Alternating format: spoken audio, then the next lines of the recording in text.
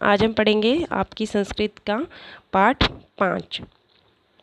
इस पाठ में जो है, स्त्री शिक्षा के विषय में बताया गया है कि किस प्रकार से स्त्री ने जो है, लड़कियों ने, औरतों ने शिक्षा ग्रहण की।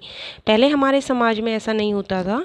लड़कियों को शिक्षा नहीं दी जाती थी। संस्कृत की शिक्षा या कोई भी उनको पढ़ने लिखने की आज़ादी नहीं थी। लेकिन यहाँ पे जिसके बारे में हम पढ़ने जा रहे हैं उन्होंने जो है संस्कृत की शिक्षा ग्रहण की और समाज को एक जो है रूढ़ीवादी विचारधारा से दूर किया, जो समाज में फैली विचारधारा थी कि लड़कियों को पढ़ना लिखना नहीं चाहिए, उन्होंने उसका खंडन किया और पढ़ाई लिखाई करके समाज को बताया कि स्त्री भी जो है पढ़ लिख सकती है और कुछ कार्य कर सकती है।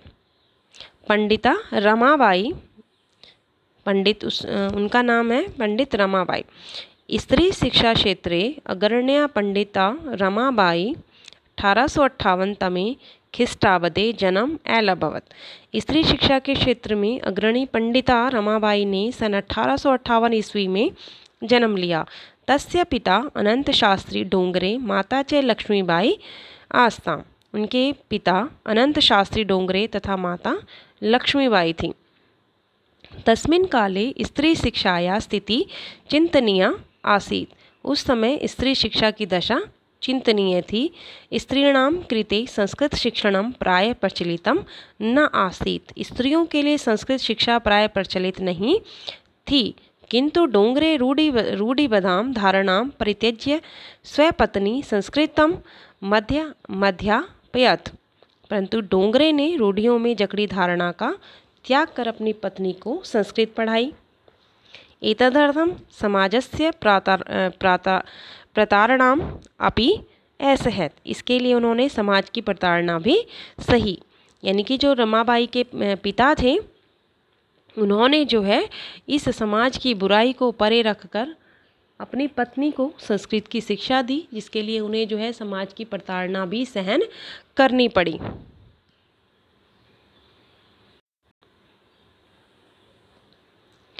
अनंतरम रमा अपि संस्कृत शिक्षा प्राप्तवती।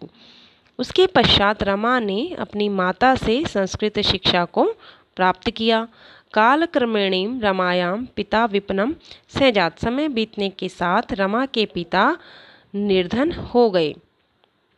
तस्या पितरो ज्येष्ठा भगनी च दुर्भक्ष पीड़िता। उनके माता पिता और बड़ी बहन दुर्भिक्ष, अकाल यानी कि अकाल से पीड़ित होकर मृत्यु को प्राप्त हो गई। तदंतरम रमा स्व ज्येष्ठ भ्राता से पदभ्याम समग्रम भारतम अभ्रमत। तत्पश्चात रमा ने अपने बड़े भाई के साथ संपूर्ण भारत का पैदल भ्रमण किया। भ्रमण क्रम सा कोलकाता प्राप्त। भ्रमण क्रम में वह वह कोलकाता भ्रमण क्रमे सा कोलकाता प्राप्त। भ्रमण करते करते वो कलकत्ता पहुँच गई।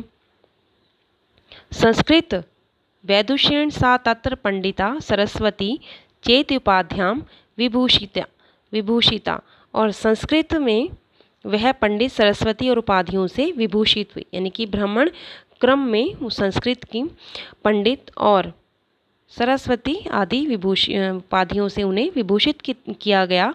तत्रैव सा ब्रह्म समाजेन प्रभाविता वैद्या अध्ययन अकरोत। और तब उसके पश्चात वो जो है ब्रह्म समाज से प्रभावित होकर वेदों का अध्ययन करने लगी। उन्होंने वेदों का अध्ययन किया। पश्चात स स्त्रीणाम कृते वेदादीना शास्त्राणाम शिक्षाए आंदोलनम प्राप्तवत तत्पश्चात उन्होंने स्त्रियों के लिए वेदों और शास्त्रों आदि की शिक्षा के लिए आंदोलन आरंभ किया।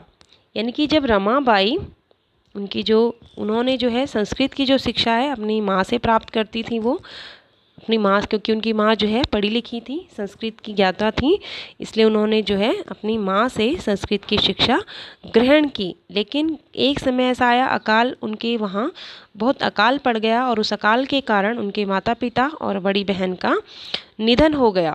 उनके मरने के पश्चात जो है, वो लोग रमाबाई और उनका बड़े भाई जो है, पूरे भारत भ्रमण पर निकल गए और वो जो है, संस्कृत का प्रचार प्रसार करती रहती थी संस्कृत की शिक्षा देती थी। कोलकाता भी वो गए और उन्हें वहाँ जो है, पंडित, पंडिता और सरस्वती नामक उपाधियों से विभूषित किया गया। उसके पश्चात वो जो है, ब्रह्म समाज से बहुत ही ज़्यादा प्रभावित हुई। ब्रह्म समाज के संपर्क में आई और उससे ब्रह्म समाज में जो है बहुत प्रभावित हुई। ब्रह्म समाज जो है, उस समय बहुत ही विख्यात था और उन्होंने जो है, वहाँ पर जो है वेदों की शिक्षा समा ब्रह्म समाज में उन्होंने जो है वेदों की शिक्षा, ग्रहण की वेदों की शिक्षा का अध्ययन किया और उसके बाद जो है उन्होंने आंदोलन करे स्त्रियों के लिए, शिक्षा के लिए कि उन्हें जो है वेदों और शास्त्रों का भी ज्ञान होना चाहिए और वो चाहती थी कि स्त्रियाँ जो है इसमें आगे बढ़ें। इसके लिए उन्होंने बहुत सारे आंदोलन किए। अठारह सौ अस्सी तमे खिस्टाब्दे सा विपिन बिहारी दासेन सह बाकी पूर्व न्यायालय विवाहम अकरोत। सन 1880 ईस्वी में उन्होंने विपिन बिहारी दास के साथ विवाह कर लिया, बाकीपुर में विवाह कर लिया। सदैक वर्षात अनंतरम तस्या पति दिवंगत। है डेढ़ वर्ष के साथ जन्मभूमि महाराष्ट्र। सदैक वर्षात अनंतरम तस्या पति दिवंगत। उसके पश्चात, डेढ़ वर्ष के पश्चात उनके पति जो है, उनके पति की मृत्यु हो गई। तदंतरम सा पुत्र्या मनोरम्या सह जन्मभूमि महाराष्ट्र प्रत्यागछत है। और उसके बाद जो है, वो अपनी अपने पुत्र के साथ मनो अपने पुत्री मनोरमा के साथ वह अपनी जन्मभूमि महाराष्ट्र वापस लौट आई। नारीणाम सम्मानाय शिक्षाए स, च सा स्वीकियम जीवनम अर्पित। थी उन्होंने जो है, नारी शिक्षा के, स्त्रियों के सम्मान व शिक्षा के लिए अपना पूरा जीवन अर्पित कर दिया था। हंटर शिक्षा आयोगस्य समक्षम नारी शिक्षा विषय से स्वयं प्रस्तुति। हंटर शिक्षा आयोग के सामने उन्होंने नारी शिक्षा के विषय में अपना मत प्रस्तुत किया।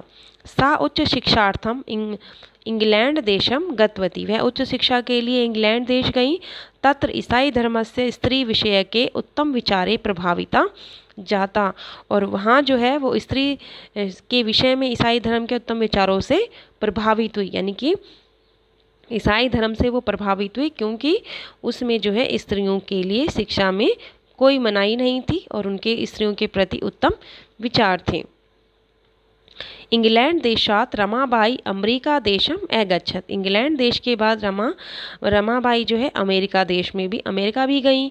तत्र सा भारत से विधवा स्त्रीणाम सहायतार्थाम अर्थ संचय अकरोत। वहाँ उन्होंने भारत की विधवा स्त्रियों की सहायता के लिए धन एकत्रित किया।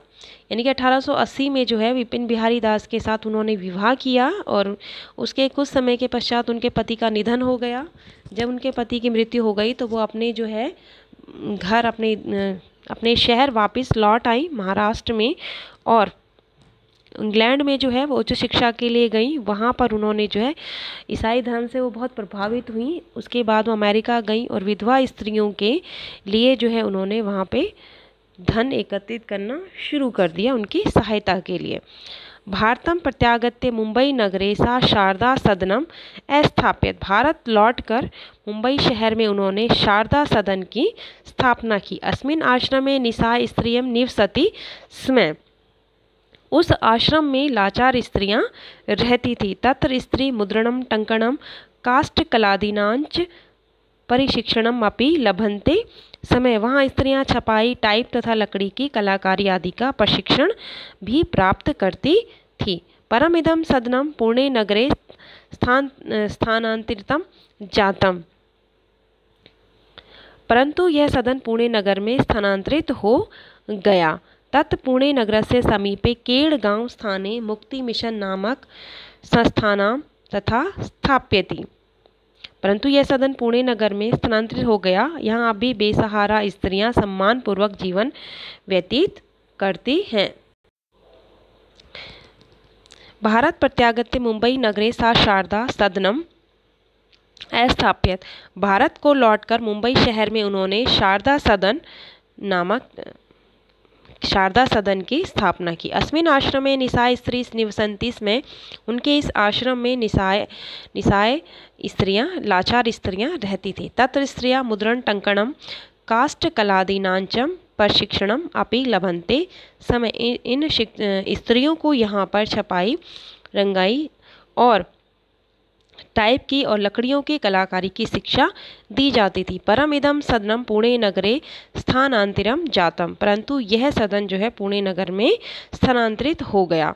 तत् पुणे नगर से समीपे, पुणे नगर के समीप केड़गांव स्थाने मुक्ति मिशन नामक संस्थानम तया स्थापितम। तब उन्होंने केड़ गाँव के के समीप केड़, पुणे नगर में केड़ गाँव में मुक्ति मिशन नाम की स्थापना की संस्थान की स्थापना की। अत्र अधुना अपि निरा स्त्रिया स्त्रियं ससम्मानम जीवनम यापयंती यहाँ बेसहारा स्त्रियाँ सम्मानपूर्वक जीवन व्यतीत करती थीं।